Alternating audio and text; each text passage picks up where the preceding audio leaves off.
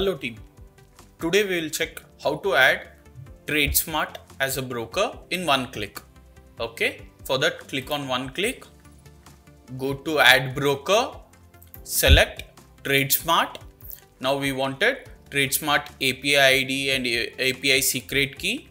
First type your TradeSmart uh, user ID and API secret key in API ID.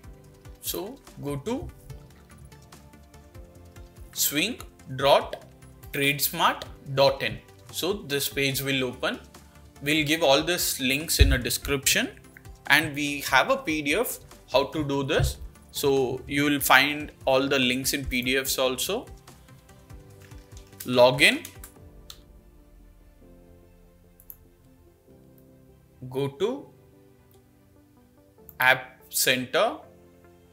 Here, create a new app give a name OIPulse now you will find app id app secret key and app pass key okay? This is only one time process. If you miss these keys and all again you have to create a new api only. So copy this app id paste here. Copy the app secret key paste here copy the app password, paste here and give a nickname. I'll give TradeSmart and add broker. Now the broker is added successfully. So every day after 7.30, you have to generate a token.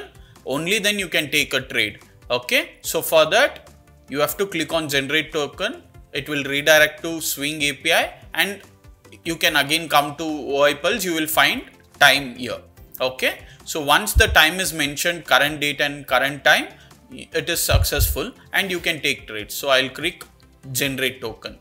Since i have already logged into swing it is directly coming or else it will ask you to log in. You just log in and come back. Here you will find a successful message and you will find a time. Now i'll click play button. So once i click play button this user is selected sorry this broker is selected and I can trade, take trades in that broker. So I'll click here now.